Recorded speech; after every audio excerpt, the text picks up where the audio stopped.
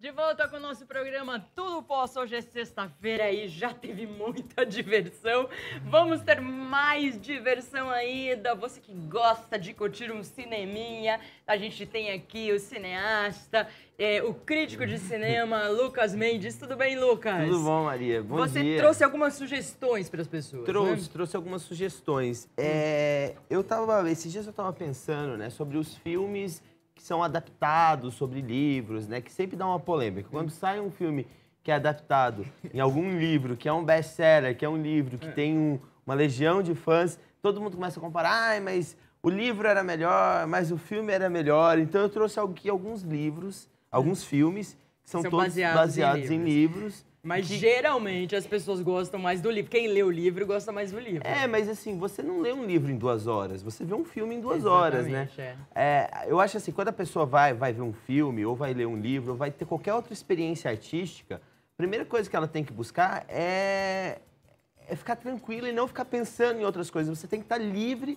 Pra pra rece- emoção, né? Receber a Pra emoção. entrar nessa É. história. É, O cinema, ele transporta você de uma maneira, que o livro transporta de uma maneira totalmente diferente. Então, Hum. se você ficar comparando que um livro com uma série de TV, ou um livro com um filme, eu acho que você não está ganhando nada com isso, porque um livro é um livro, Livro, e um é, filme é um exatamente. filme, são duas coisas diferentes. E são duas artes diferentes. Exatamente, E é. existem diretores que têm a sensibilidade de fazer adaptações belíssimas que envolvem, é, que, que- divulgam, às vezes, livros que já não eram mais tão falados, Hum. ou livros antigos, conseguem um novo público. Isso tem até um impacto educacional, você pode Exatamente. pensar, porque você está incentivando crianças a lerem, você está incentivando crianças a conhecerem histórias novas, né, a revisitar os grandes literatos, os grandes escritores. Então eu acho que é uma mistura muito, muito, muito saudável essa de literatura e cinema. É, tem um, quero fazer um adendo, tem também um movimento é, oposto no cinema, que é o filme e depois o livro. É. Né? Tem muito, se você ver na lista, ver na lista dos mais vendidos, vários são de filme. Eu, eu, eu acho muito legal, né? Eu acho que isso prova um pouco aquilo que a gente estava conversando. Porque se, se o livro fosse alguma coisa mais especial do que o filme, seria uma via de mão única, concorda? Concordo. E agora mostrando que pode ser uma via de mão dupla, que o, li que o filme pode inspirar o livro, mostra que são duas artes diferentes, elas podem se inspirar, elas não têm uma relação necessária, mas quando um diretor, quando um roteirista tem a sensibilidade de estudar mesmo a, a, a, obra original, os filmes ficam muito melhores, ficam muito mais memoráveis e ainda agrada os olhos dos fãs, né? Do- dos, dos, dos fanboys que a gente fala, né? Então vamos lá, o primeiro filme que você selecionou. O primeiro filme que eu selecionei é baseado num livro que é um clássico da literatura inglesa, que é O Orgulho e Pre- Preconceito, escrito pela Jane Austen em 1797. O livro né, conta, conta a história das, das cinco irmãs, a Bernard, a Jane, a Lila, a Mary e a Kitty, que foram criadas por uma mãe extremamente é, aquelas inglesonas tradicionais, que quer, tudo que ela quer fazer é casar as filhas dela com um bom partido. Caso é que aparece uma família mais rica na região e a mãe quer casar todas as filhas, quer ver qual filha que consegue casar com, com esses novos nobres que tinham chegado no vilarejo. Quando é, ela, ela chega, a relação não é tão legal, aí mostra toda aquela fragilidade da, da, de- dessa sociedade inglesa dessa época, todo a, questão da nobreza, do, do vácuo da nobreza, e disso nasce uma história de amor. E é uma história de amor que passa por do, do- dois pontos principais, que é primeiro o orgulho em relação a a, a, a, A própria linhagem, é, né? É, e também a pessoa que é ferida, né? Porque é, a- a- elas são feridas pelos nobres, elas são tratadas às vezes como, como mulheres de segunda, né? Como, ah, ela tá aqui perto de mim só porque ela quer minha riqueza. E também o preconceito social que acontecia nessa época. Foi escrito pela, pela literata Jane Austen, que hoje é, é uma das escritoras mais famosas, eu acho que... É, ainda vende muito esse Vende livro, muito, ainda é um- você- realmente um clássico. Eu acho assim, principalmente para as meninas, é um livro Exatamente. maravilhoso, é, um- é um- é uma é um experiência... filme lindo também. E é. o filme é lindo, o filme ele retrata bastante o que o livro é. Ele foi feito pelo diretor Joe Wright com a... Qual é o nome mesmo? Da... A Kira Knightley. A Kira Knightley. A Kira Knightley é essa que acaba se tornando essa daí que a gente tá vendo, no monitor. Ela acaba se tornando a personagem principal, essa daí. Ela fez vários Elizabeth. filmes piratas, é, Piratas do Caribe. Ela fez Rei Arthur. Ela fez um monte de filme de época. É uma, é, uma, é uma atriz muito rodada, assim, É. ne- ne- nesse gênero. É, e ela cresceu nos bastidores do cinema, porque a mãe dela, se eu não me engano, porque eu inclusive já entrevistei, ela era figurinista de cinema, se eu não me engano. Houve participação dela até na adaptação do roteiro. do- É. provavelmente é fã da Jane Austen É, também. Ela começou muito jovem aqui da Knightley e ela se desenvolveu muito rápido. Ela é muito requisitada. Inclusive, agora ela tá grávida. No Oscar, ela tava grávida É, e, tal. E, e muito legal esse filme também, porque é, é a primeira vez que rola essa fusão entre a Keira Knightley e o diretor John Wright-. E isso, isso vai dar fruto a mais dois filmes, Hum. que é o Desejo e Reparação e a Ana Carolina, também dois. Nossa, Ana Karenina é um filme que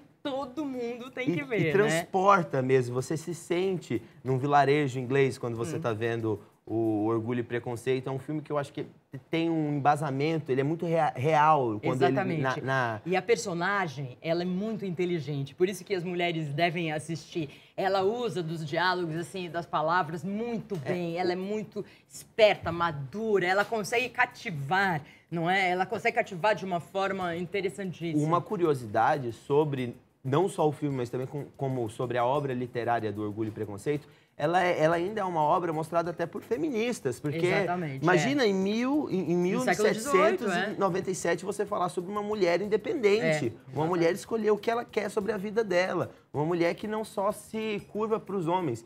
Então isso foi muito revolucionário e ainda é revolucionário. Exatamente. Retrazer isso no cinema é, é impressionante. E tem uma curiosidade sobre esse filme, se você sabia que esse filme tem duas versões diferentes dos finais? Não, Tem a versão inglesa, que segue mais a literatura, e a versão americana, que é um pouco mais romantizada. Ah. Deve ter sido uma opção do diretor, né, para conseguir mais bilheteria, porque esse filme foi um sucesso, tanto de crítica quanto de bilheteria. Tá aqui a dica para vocês. Se você gosta de literatura, se você gosta de uma literatura mais voltada ao- ao- aos tempos antigos da Inglaterra, todo aquela, aquele glamour da nobreza, é algo que você vai adorar. é verdade, é um filme histórico, assim, muito bacana. Bom, é, segundo. Segundo, bom, a gente estava falando sobre literatura clássica. É, agora, Agora a gente vamos- vai para uma pop. Agora a gente vai pro pop e, e falar não só sobre um filme, mas sobre um fenômeno, Hum. que é Harry Potter e a Pedra Filosofal, Exatamente. que saiu aos cinemas em 2001. O livro já, já tinha saído antes. Eu lembro de ler com a minha mãe na cabeceira, ler junto Harry Hum. Potter, o livro 1. Foi um dos primeiros livros que me instigou a ler. Então, te- mostra aí toda essa importância. Força, né? Toda essa força da saga que foi Harry Potter e também sobre esse novo nicho que foi criado com- a partir do Harry Potter. Hoje, se existiu Crepúsculo, se existe Jogos Vorazes, toda a origem é no Harry Potter, essa, essa literatura infanto-juvenil. E o mais legal da saga... Divergente. É, divergente. E, e o mais legal dessa saga Harry Potter é porque, assim, o primeiro filme que foi lançado em 2001 é um filme mais infantil. O segundo filme, É ele cresce as um pouco mais.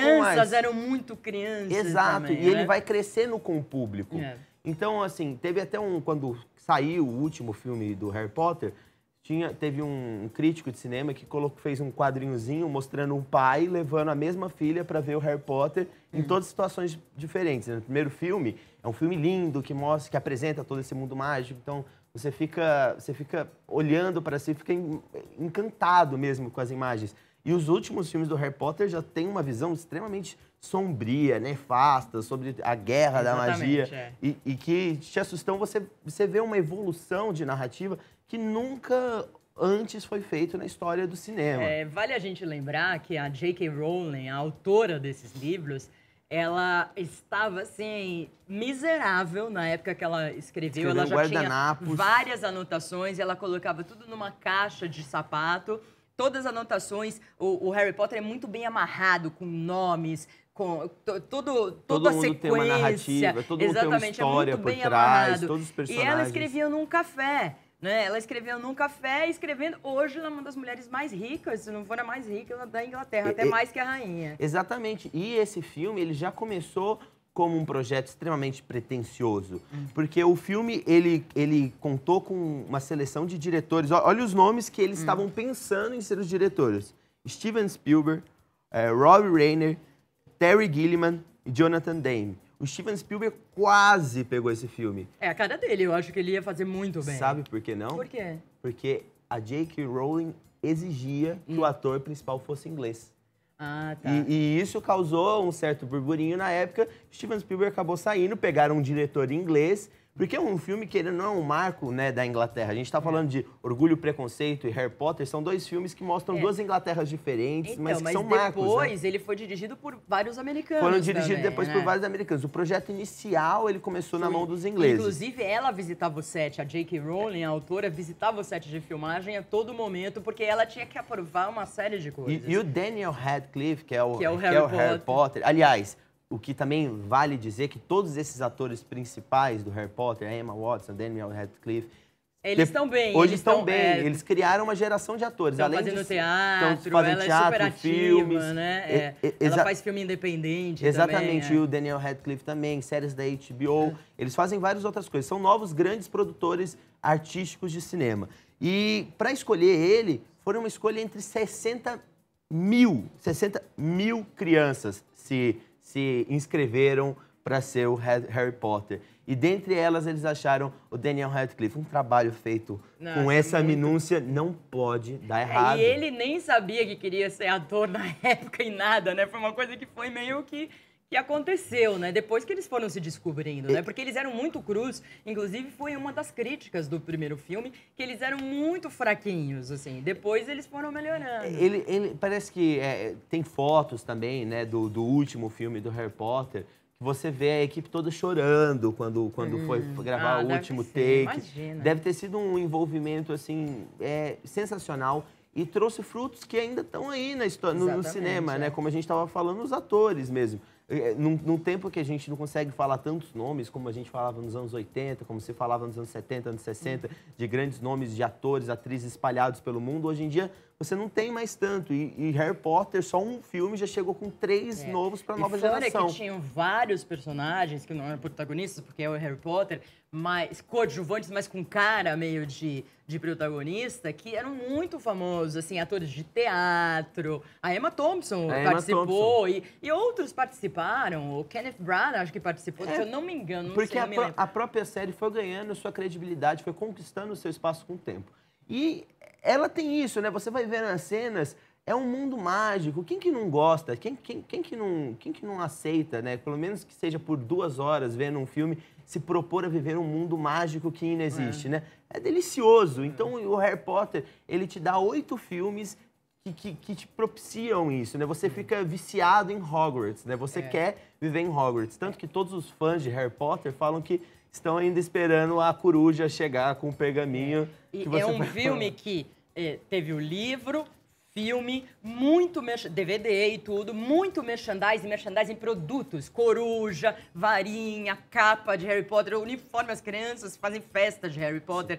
É, brinquedo na Disney, Harry Potter, Parque enfim. lá em é, Londres. exatamente. Então, assim, é uma franquia que expandiu, assim. É, É, hoje- impressionante. Hoje, virou em dia, muitas pessoas viajam para Londres para ver o set, onde foi do filmado Harry Potter, exatamente. Agora a gente falou de um clássico infanto-juvenil, a gente falou de um clássico, clássico, clássico, né, Jane Austen, e agora a gente vai falar sobre o grande fenômeno, são os best-sellers, que é, agora a gente vai falar sobre o filme O Lado Bom da Vida, de Hum. Ah, 2012, é de David O. Russell, que é um filme sensacional. Um filme extremamente sincero, um filme é, que, que- que faz você se envolver realmente com os personagens. Primeira vez que eu vi esse filme no cinema, eu não estava muito avisado do que ia acontecer.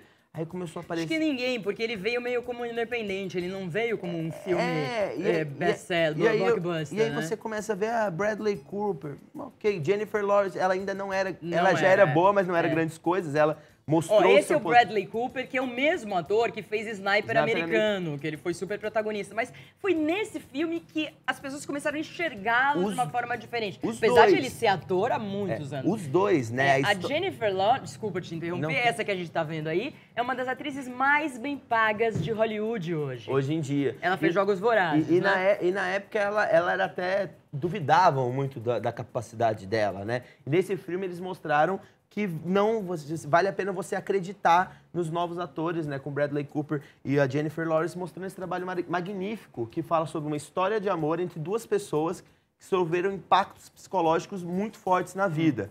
E como essas pessoas se reúnem, como é montado o filme. Ah, se eu falar da história dele, se eu falar só a sinopse, vai parecer um filme besta. Hum. Porque a história é uma história de amor. De amor, como, exatamente. como- como muitos outros fi- filmes. Mas a maneira que essa história foi tratada, o tato que foi dado pelo David O. Hum. Russell, eu acho que transformou esse filme no filme que é. E também a, atuação de- de- do Bradley Cooper com a Jennifer Lawrence. Mas esse filme, por exemplo, foi um filme que pessoas que leram o livro Hum. reclamaram Muito. muito, muito, muito, muito. Acho que talvez, eu não li o livro original, mas talvez eles devem ter, o diretor deve ter criado alguma coisa diferente no, no, no livro, no filme que não tinha no livro, ou deixou de mostrar alguma parte, às vezes não deu tanto enfoque a algum personagem. Em- O fato é que as pessoas meio que, algumas pessoas não gostaram muito do filme em comparação do livro, mas como eu disse, a gente não pode ficar olhando como comparação. O filme é magnífico. Tem um dos personagens mais interessantes da carreira do Robert De Niro, que eu acho, que é um viciado em jogos de futebol americano. O filme explora essa, essa, essa nova família americana, né? essa nova família eh, americana decadente, onde o sonho americano, né? que, que muitos dos filmes da década de 60 e 70 mostravam, não deu certo, já acabou, todo mundo está falido, está todo mundo vivendo numa grande crise e, te, e mostra uma coisa linda que pode sair dessa crise, que é o, a relação entre os dois personagens. O filme é muito, muito, muito bacana. É uma ela, dica- inclusive, ganhou o Oscar por esse filme. Não acho que foi merecido, porque ela atua bem, mas não acho que merecia. Mas eu acho que era aquela, né? É, a, é- a gente quer novos atores. Hum. A gente quer novas caras, novas pessoas trabalhando nessa indústria do entretenimento tão linda que é o cinema, né? Então, quando você vê que apareceu uma cara nova e que aquela cara nova exprime um potencial e pode virar uma nova, sei lá, uma nova substituta da, sei lá, Brigitte Bardot, Meryl Streep, as grandes atrizes que a gente tem na história do cinema, a gente se empolga. E eu acho que a academia está certa de incentivar essa atriz. Tem que incentivar esses novos, esses novos atores. Porque quando, quando um ator que está estudando teatro vê uma Jennifer Lawrence, na idade que tem, fazendo um filme Ela tem 20 anos. um filme né? barra independente e ganhando um Oscar, isso é um grande incentivo a toda a categoria. E o Oscar e essas premiações servem é para isso, né? Incentivar novos produtores, novos atores, novos realizadores de cinema. Eu, eu acho que tem que premiar os, os melhores mesmo, mas tudo bem. Eu acho que é, eu tenho dois, dois Oscars que eu realmente. Esse eu não gostei.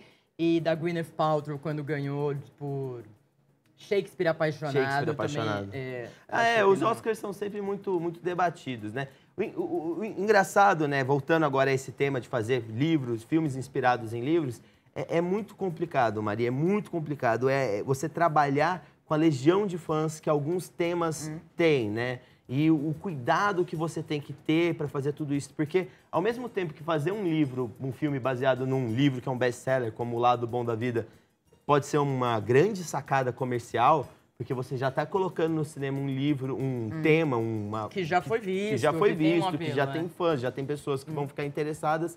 Você sempre está numa corda bamba, né? Você não pode escorregar, senão eles vão te pegar de jeito mesmo. Todo mundo vai, vai falar, ah, é porque o livro é melhor que o filme, vão começar a tentar achar problema no filme. Ao mesmo tempo que vai ter um- uma legião de pessoas que, vai, que vão lá para matar quase uma curiosidade de como que, que vai ser o filme, vai ter também uma legião de pessoas que vão ver o seu filme só para poder analisar os erros, para botar defeito e falar que o livro é melhor do que o filme. Então, mas isso a gente, todo mundo corre esse, esse risco, né? De ser Exato. amado e odiado. Então, Exatamente.